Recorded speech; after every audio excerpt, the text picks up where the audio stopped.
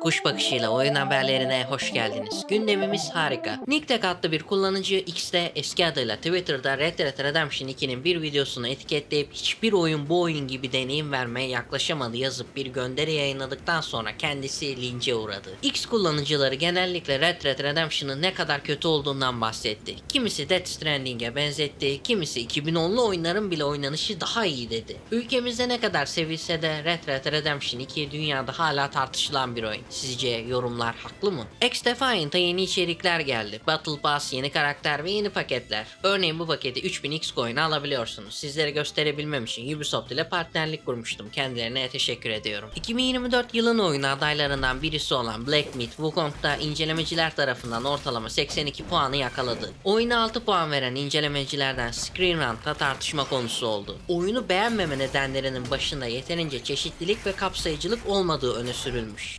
İnsanlara göre bundan kastettikleri de oyunda yeterince farklı ten renkleri, LGBTQ'ya Plus'a yer verilmediğiymiş. Fall Guys Mobile geldi. Türkiye'de yaşayan iOS kullanıcıları Avrupa Birliği'nde geçerli alternatif mağaza kanun olmadığı için oyunu yükleyemiyor. Android kullanıcıları Epic Games uygulamasını APK yardımıyla kurup oynayabilir. Activision mod yasakladığı hayranlar çılgına döndü.